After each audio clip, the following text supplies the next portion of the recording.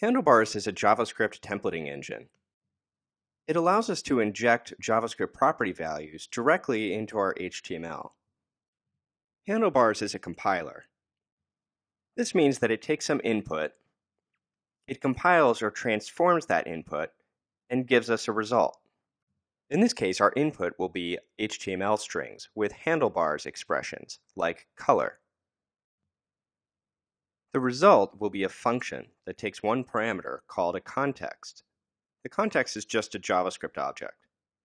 We can assign that function to a variable and then call that function with a JavaScript object.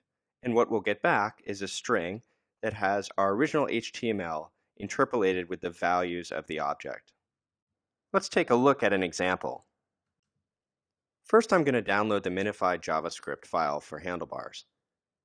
And then I'm going to download jQuery so that I have both of these files in my local project directory.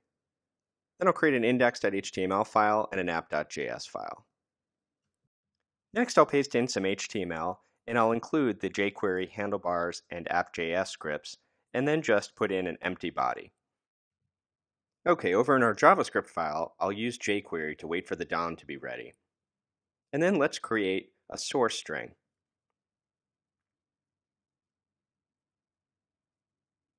Then I'll take this source string and I'll use handlebars to compile it and assign it to the template variable.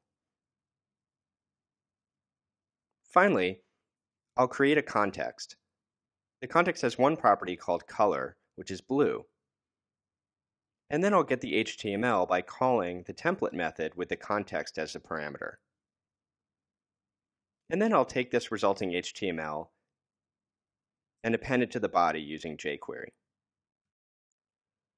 Over in the browser, I can see that blue is rendered onto the page, and we can see that the HTML that was produced is our original handlebars expression interpolated with the blue value of our context object. It would be sort of annoying if we always had to assign our templates to a variable as a string, so there's a better way. What we can do is directly in our HTML page, we can include a script tag.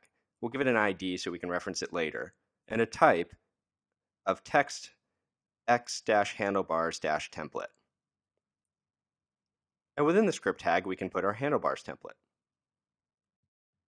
Okay, now over in our JavaScript file, we'll replace the string that we assigned to source, and instead we'll use jQuery. We'll grab the template by ID and get the HTML using the HTML method.